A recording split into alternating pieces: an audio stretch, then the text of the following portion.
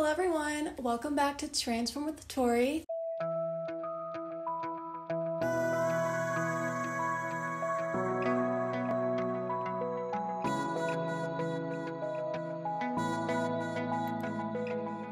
If you are new, this channel is all about personal development and blossoming into the person that you're meant to become. Today, I have a book talk for y'all. It absolutely changed the way that I view my habits and my daily routines. And the book is The Compound Effect. It is by Darren Hardy, all about jumpstarting your income, your life, and your success. So, without further ado, let's get started. This book really opened my eyes to viewing my routines and my daily habits into something that will either bring me up or bring me down. I didn't realize just how important they were before reading this book. What the compound effect is, is if you do something for long enough, even if it serves you or doesn't serve you, then it'll take on this momentum phase. It'll just multiply either up or down. Once you have that knowledge, you do what you want to do with it, but you have the choice to push yourself in a positive direction or a negative direction.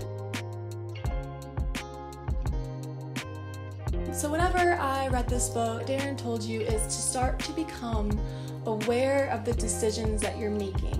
Most of the time, we go about our days and we don't even realize the habits and the choices that we make because they've become something that you do every day that you don't even have to think about it. It's just in your unconscious mind, and you're not really aware of what you're doing because you've done it so long that you don't have to put any energy into really thinking about it. The situations that come up in your life, they may be negative, they may be positive. You have no control over that, but what you do have control over is the decisions that you make and the habits that you allow yourself to take on. He mentioned that you can track everything from your day. I didn't really think that tracking my food habits was good for me because I do have some obsessive food thoughts. So, depending on who you are as a person, you may think that tracking your food is a good thing, but for me,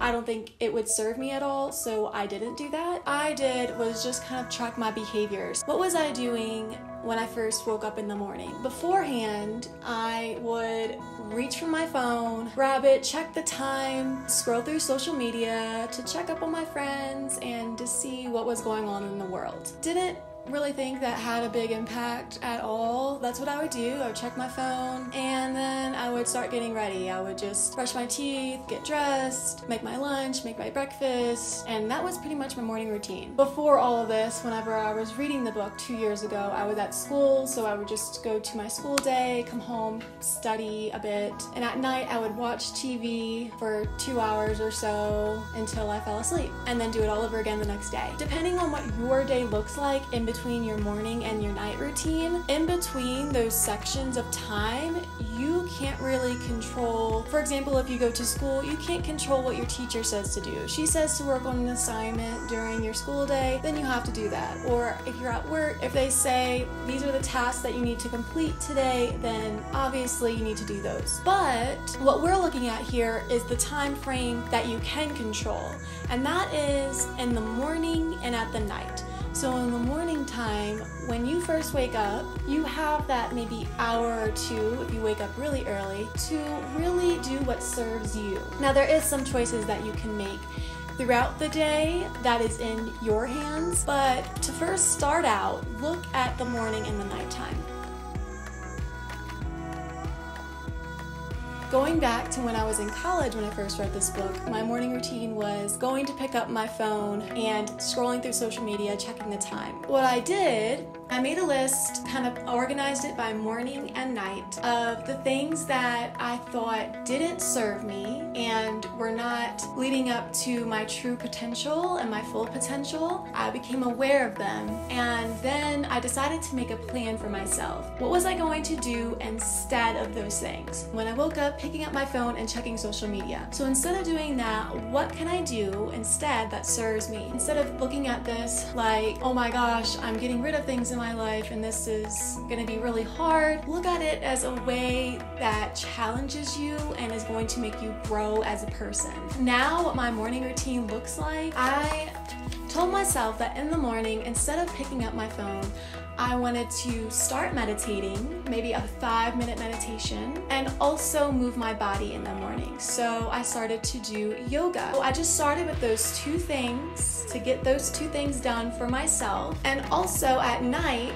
I decided that I wanted to try to limit the amount of technology that I was viewing before going to bed because it disrupts my sleep cycle. So, what I wanted to do was do things that didn't involve technology, either doing another meditation or yoga, journaling, reading a book, doing something that doesn't involve staring at a screen. He did say in the book it takes about 21 days to form a habit. And if you really want to ingrain it, then you need to make sure that you do it every day consistently for three months for it to really be almost an unconscious decision that you make you don't have to think about it anymore. You just go ahead and do it. And now my morning routine, what it looks like now, I wake up, I go ahead and Um, sit on this couch or sit on a yoga mat and do a 15 to 20 minute meditation every single day. And then right after that, I do some journaling. I write down three things that I'm grateful for, set an intention for my day, and also set an affirmation. And it's really weird because when you do set an intention, it sets the tone for your day. You end up asking the universe and the brain to move you in that direction of your intention, whether that be staying positive or being kind. It's a daily reminder for you of what you want to get out of your day. After that, I will do a 15 to 20 minute yoga session, sometimes 10 minutes depending on how I'm feeling. I have been doing those consistently every single day. I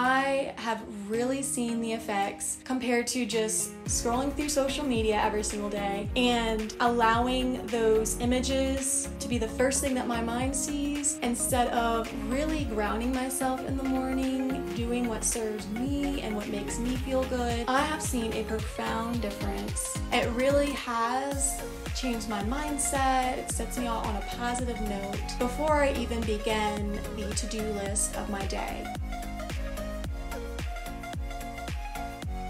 Here's your homework if you have not read this book. Go ahead and track your habits that you do, and you will surprise yourself with some of the things that you just don't realize because you haven't become aware of them. What are the habits that you do? What are the behaviors that you do for your day? Look at the ones that you want to change. Now, you don't have to get rid of everything if you don't want to.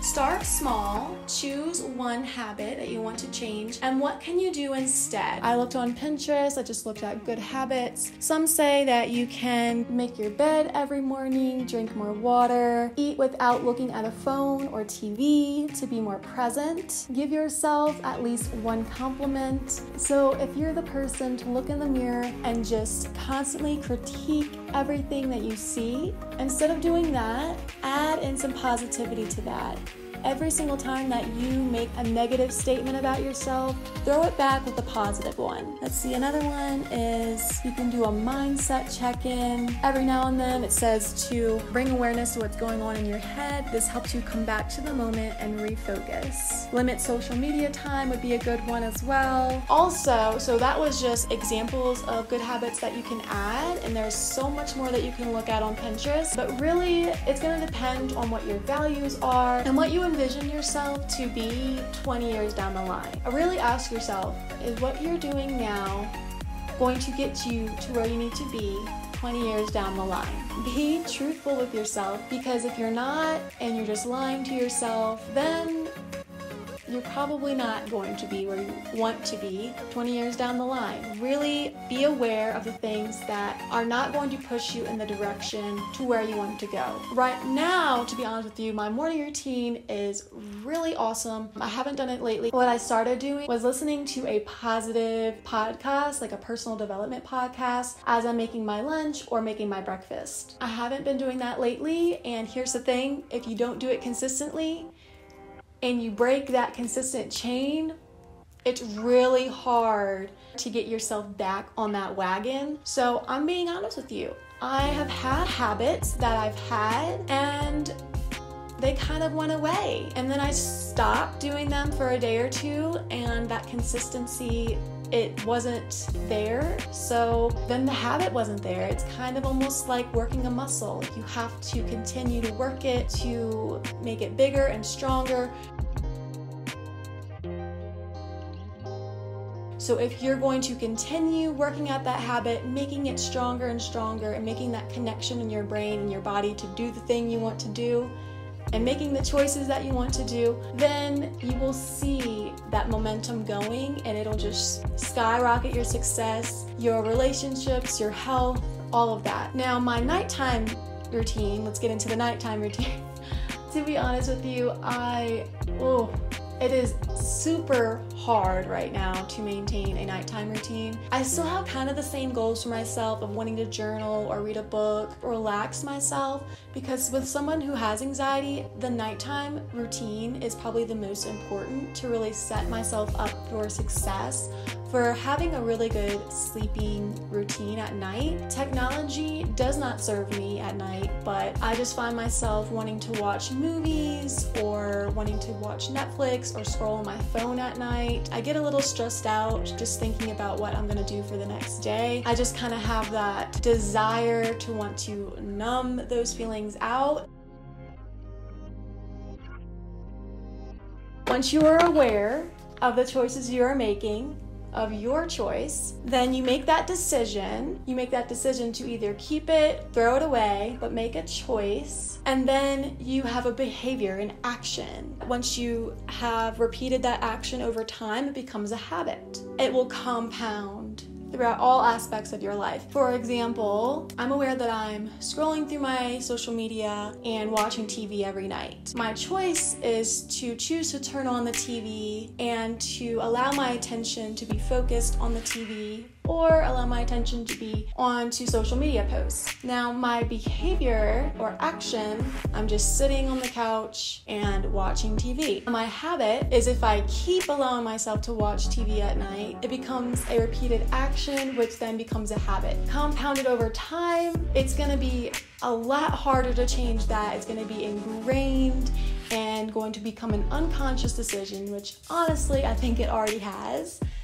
you have to do something else and it's to be really really hard at first if this is something that you've been doing for a long time but once you choose to make a different choice and you realize how much better it makes you feel and you keep doing it over time and it becomes a habit, then you're going to thank yourself in the long run because it was probably what you should have done years back or months back. Yeah, I hope that y'all learned something out of this video and inspired you to take action and to start taking the reins of your life and your habits and changing the ones that you don't like. So, your homework for tonight, what I want you to do is start to become aware of the habits that you are doing every single day and look at the ones that you want to change. Start with one and choose something else in return that will serve you and push you in the directions of your desired future self. If what you're doing, if one strategy isn't working and you're seeing that you keep falling back, to that old habit, you gotta go back to the drawing board and see about a different strategy to use. It's just gonna take some time to figure out what's really going to work and what's going to stick for you. But I wish you luck if you're going to do that and I believe in you. Oh, if you haven't already, please subscribe. I post videos every single Friday around 4:30 in the afternoon. I will see you in the next video.